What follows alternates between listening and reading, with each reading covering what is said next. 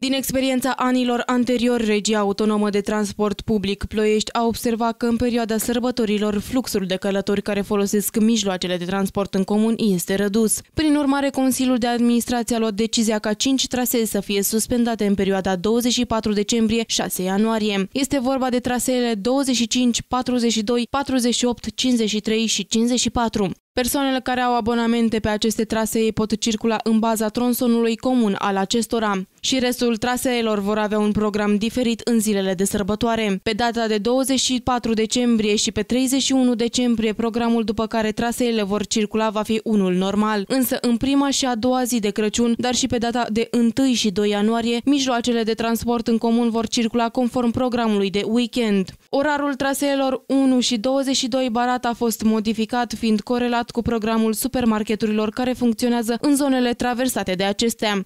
Aceste modificări au fost efectuate pentru ca RATP să vină în sprijinul cetățenilor care utilizează mijlocul de transport în comun.